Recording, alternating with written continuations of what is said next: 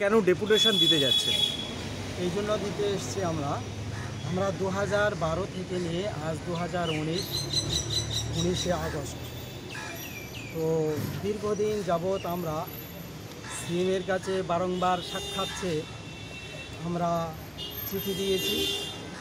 বারংবার আমরা ডেপুটেশন দিয়েছি আমাদের দাবি দাবা নিয়ে বা বিভিন্ন ব্লকে বিভিন্ন পিএম অফিসে রাজ্যের বিভিন্ন মন্ত্রীর কাছে আমরা দাবিতে কিন্তু আজ পর্যন্ত আমাদেরকে কোনো রকমের সদুত্তর দেওয়া হয় না।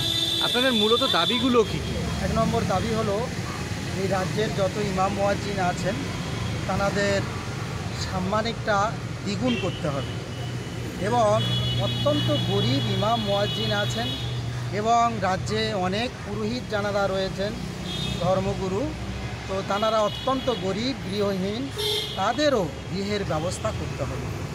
সেই সঙ্গে আমরা চাই ইমাম মোয়াজ্জেনদের এবং ওই সমস্ত ধর্মগুরু আহ, পুরোহিতগণের সন্তানদের শিক্ষা এবং স্বাস্থ্য বিষয়টা ফ্রিতে পরিষেবা দিতে হবে এটাও আমরা চাই। মোট কটা সংগঠন আজকে মুখ্যমন্ত্রীর বাড়িতে যাচ্ছেন আপনারা? আজকের বঙ্গীয় ইমাম পরিষদ সহ মোট পাঁচটা সংগঠনের তরফ থেকে আমরা মুখ্যমন্ত্রীর কাছে ডেপুটেশন দেব।